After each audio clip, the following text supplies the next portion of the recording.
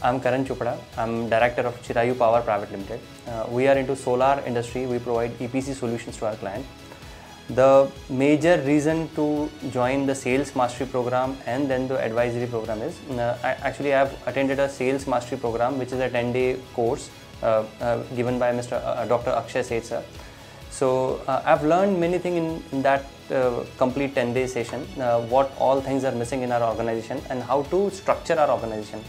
Then after knowing those things, I needed personal advisory because there are a lot of things that needs to be done in our organization to lift it from existing 15 CR company to a dream which we want to achieve. So Akshay sir is helping us out. Uh, it's been six sessions with him uh, in the personal uh, mastery session and it's going fabulous. Uh, I've learned so many things in in those sessions, right from opening of call, how to uh, how to um, get new prospects in our company, and uh, everything uh, right right from uh, detailed scratch. He's uh, training us.